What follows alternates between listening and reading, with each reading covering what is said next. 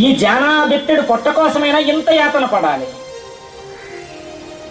ఇంత నరకం ఇంత యాతన ఎంత నిజంగా నరకం లేదు ఎవరైనా చెప్పండి నరకం లేదు బ్రతుకనడానికి అవకాశం లేదు.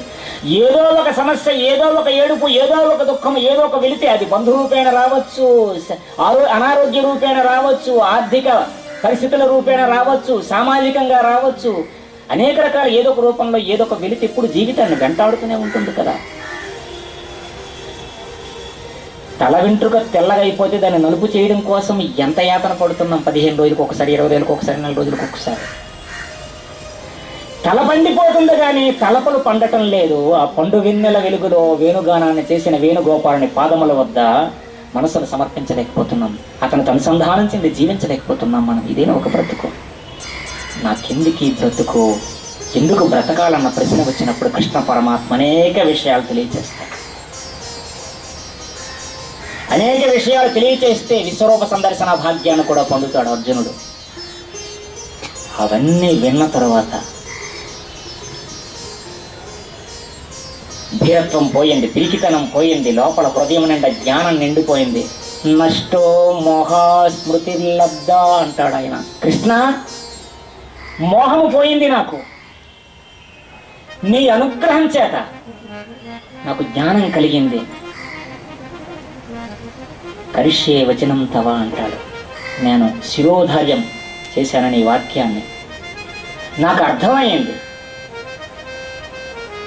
అర్థవంతమైంది నా జీవితం నీ అనుగ్రహం చేత నీ జ్ఞాన ప్రసాదం చేత. మోహము తొలగిపోయింది. స్మృతి జ్ఞానం కలిగింది. నేను ధన్యున్నయ్యానంటాడు కృష్ణ పరమాత్మతో అర్జునుడు. అనేక విషయాలు చెబుతాడు. ఏడు వందల ఒక్క శ్లోకాలు ఉంటాయి. ఏడు వందల ఒక్క శ్లోకంలో ప్రతి శ్లోకము ఒక్కొక్క దాన్ని ఏ రత్నంతోనో ఏ మణితోనో ఏ ముత్యంతోనో ఏ ఐశ్వర్యంతోనో పోల్చలేం ప్రతి వాక్యము మన హృదయాన్ని వెలిగిస్తుంది. భూషణవ్వుల తాత గాంధీ భగవద్గీత యొక్క శ్లోకముల యొక్క సారాన్ని జీవిత సారాంశంగా హృదయమంతా నింపుకొని తుపాకి గుండు గుండెలోకి వెళ్ళి గుండెను చీల్చితే హే రామని నేలకు ఒరిగాడు ఆయన ఒక్క శ్లోకాన్ని పట్టుకుంటే మన జీవితం సుశ్లోకితం అవుతుంది ఆనందమయమైపోతుంది. ఒక్క శ్లోకం పట్టుకుంటే. కృష్ణ పరమాత్మ చెప్పిన ప్రధానమైనటువంటి అనేక అన్ని ప్రధానమైనవే కానీ సామాన్యులకి చాలా సులువుగా అర్థమయ్యేది ఒకటి ఉంటుంది. సర్వధర్మాన్ పరిత్యజ్య మామేకం శరణం వ్రజ. అహం త్వా సర్వ పాపేభ్యో మోక్షయిష్యామి మా శుచ అర్జున సర్వధర్మములు కూడా నాకే సమర్పించు. నీ పాపములన్నింటి నుంచి విడుదల చేస్తాను. అశుచ శంకించకు శోకించకు బాధపడకు అంటాడు ఆయన. సర్వధర్మాను పరిత్యజ్య అంటే అన్ని ధర్మములను విడిచిపెట్టాలంటే అన్ని పనులు విడిచిపెట్టేయాలా? అన్ని పనులు విడిచిపెట్టేసి అలా కూర్చోవాలా? కాదే. నీకు ధర్మం ఉంది గృహిణి. గృహిణిగా ధర్మం ఉంది గృహస్థు గృహస్థుగా ధర్మం ఉంది డాక్టర్ డాక్టర్గా ధర్మం ఉంది బ్యాంక్ ఉద్యోగి బ్యాంక్ ఉద్యోగిగా ధర్మం ఉంది. వ్యాపారస్తుడు వ్యాపారస్తుడిగా ధర్మం ఉంది. నీ ధర్మాన్ని నిర్వర్తించు కానీ లోపల ఒక ధర్మాన్ని పట్టుకోవాలి. రామకృష్ణ పరమహంస అంటారు. ఖాళీగా చేతులు వదిలేసి గిర్రున గిర్రున గిర్రున తిరిగితే కింద పడిపోతాం దెబ్బ తగ్గుతుంది అంటాడు ఆయన. ఏం చేయాలట? పిల్లలు ఏం చేస్తారు? స్తంభము గొంతు పట్టుకొని దాన్ని పట్టుకొని గిర్రున తిరుగుతారు. ఎంతసేపు తిరిగినా పడిపోరు.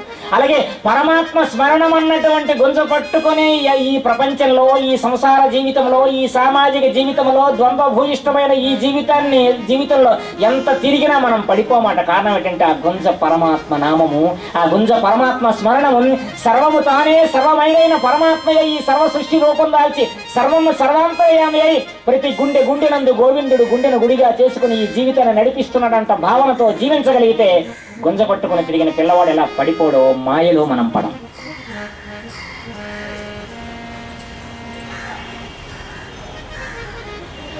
ఒక భక్తురాలు ఉంది ఒక కృష్ణ భక్తురాలు.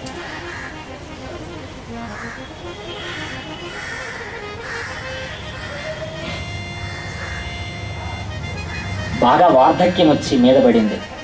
ఎవరూ లేరు ఆమెకి.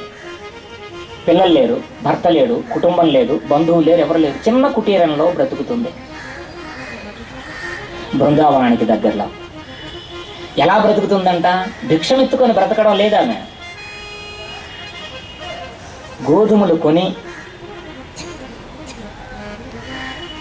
వాటిని పిండి చేసి ఉదయం పూట వీధుల్లోకి వెళ్ళి గోధుమ పిండి అమ్మేది.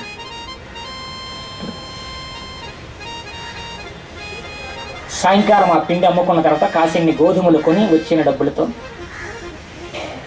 మళ్ళా ఆ రాత్రిపూట తిరగల్లో గోధుమలు వేసి విసురుతుండేది.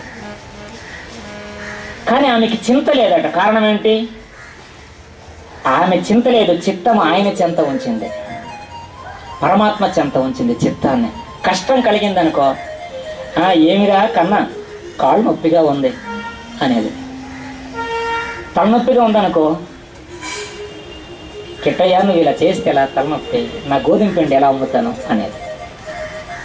గోధుమ అట్టు వేసుకుంది అనుకోండి. లేకపోతే గోధుమ చపాతీ చేసుకుంది అనుకోండి. అది గుండ్రంగా వస్తే నువ్వు పూర్ణుడు నా బ్రతికి ఎప్పుడు పూర్ణం అవుతుంది.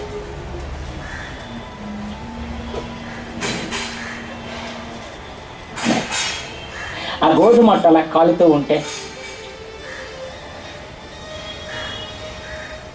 నీవు అనుగ్రహించిన జ్ఞానంతో నా లోపల నాదన్న మమకారం ఎలా కాలిపోతుంది? ఇప్పుడు అది ఇప్పుడు తొలగుతుంది. కృష్ణాన్ని కళ్ళల్లో నీళ్ళు తిప్పుకోలేదు.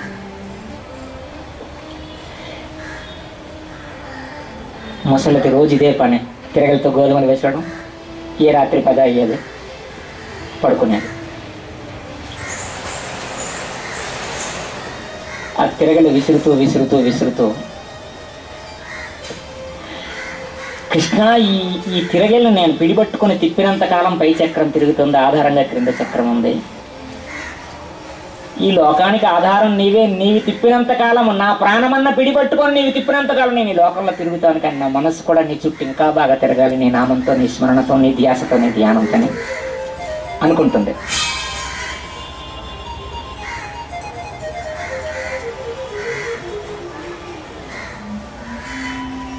ఒక ఐదేళ్ళ ప్రాయం కలిగిన ఒక పిల్లవాడు వచ్చాడు.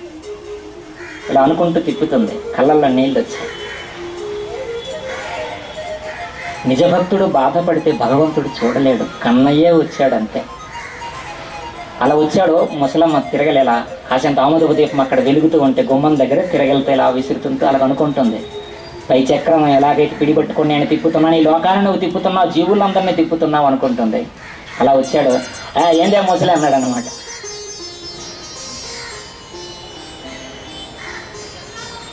ఆ శబ్దం వినిపించలేదు. వచ్చి కాలుతో తిరగల పోయిన బొట్టం రైలు మధ్యన పెట్టి అలా అలా పట్టాడు. తిరగల మీద కాలు అలా వేశాడు. పై చక్రం మీద తిరగల చక్రం మీద వేసి ఆపాడు. ఏ వీధి బాలుడు అనుకోండి ఏ? తిరగడ నువ్వు కాలు తీయరా? లేక నా కడుపు రేపు మంటతో ఉంటుంది అంటది ఆవిడ. ఎప్పుడు ఈ విసురుకొని బ్రతకడమేనా? ఈ గోధుమ పిండి అమ్ముకొని బ్రతకడమేనా? గోధుమలు విసరడమేనా? ఇంకొక పని లేదా నీకు? అన్నది. నేను ఎలా బతకాలి నాకు ఎవరు పెడతారు?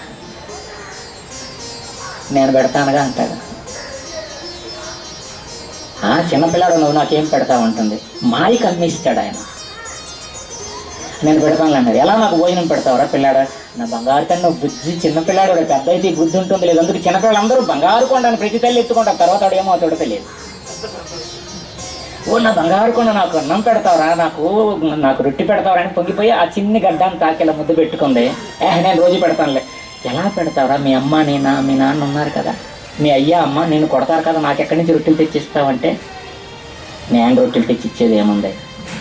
నీ తిరగల చక్రం మీద కాల్ చేశాను కదా అదే నీకు అన్నం పెడుతుందిలే అన్నాడు వెళ్ళిపోయాడు. కదిలాడు. కళ్ళల్లో నీళ్ళు కదిలే వీధిలో ఆడుకున్న పిల్లాడు అనుకున్నాను కానీ నువ్వు అనుకోలేదు.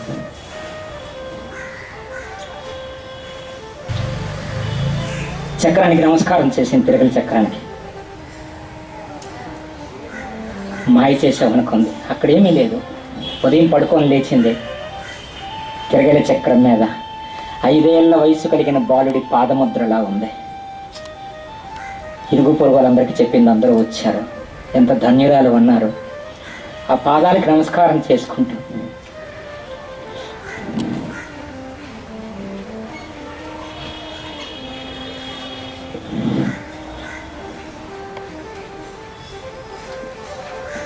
వచ్చిన వాళ్ళందరూ కూడా. కృష్ణుడు పాదాల దగ్గర నాణ్యాలు పెట్టేసి వెళ్ళిపోతుండేవాళ్ళు. కొంతమంది కూరగాయలు పెట్టి వెళ్ళేవాళ్ళు కొంతమంది గోధుమ పెట్టి పిండి పెట్టి వెళ్ళేవాళ్ళు.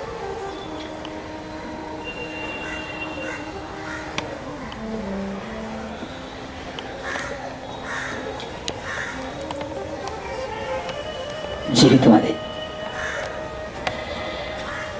క్షేత్రే క్షేత్రే ధర్మం కురు. ముసలిది ఒంటిలో ఓపిక లేని ఆమె. గోపికలాగా బ్రతికిందే. ఓపిక లేకపోయినా గోపికలా బ్రతకగలగాలి జీవితం. ఈ గుండె ఆయన ఎప్పుడు ఆపేస్తాడో తెలియదు. ఆపేలోగా అతడి స్మరించాలి.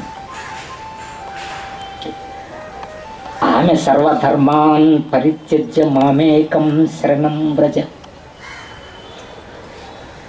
ధర్మాలు విడిచిపెట్టడం అంటే పనులు మానేయటం కాదు వృత్తి మానేయటం కాదు. ఏ వృత్తిలో ఉన్నా నివృత్తి మార్గంలో ఉండటం నివృత్తి అంటే జ్ఞాన మార్గంలో ఉండటం.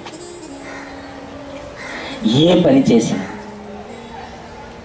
ఆ పరమాత్మ యొక్క కృపగా అనుగ్రహంగా ఆయన ఇచ్చిన భాగ్యంగా ఆయన పాదమైన ఈ భూమి మీద ఈ జీవితం అనుగ్రహింపబడింది. అన్ని రూపాలు అతనివే అన్న భావంతో జీవించగలిగితే లోపల ఆత్మదీపపు యొక్క కాంతిని ఆనందమయంగా అనుభవించగలుగుతాం అది నిజమైన గీతా జయంతి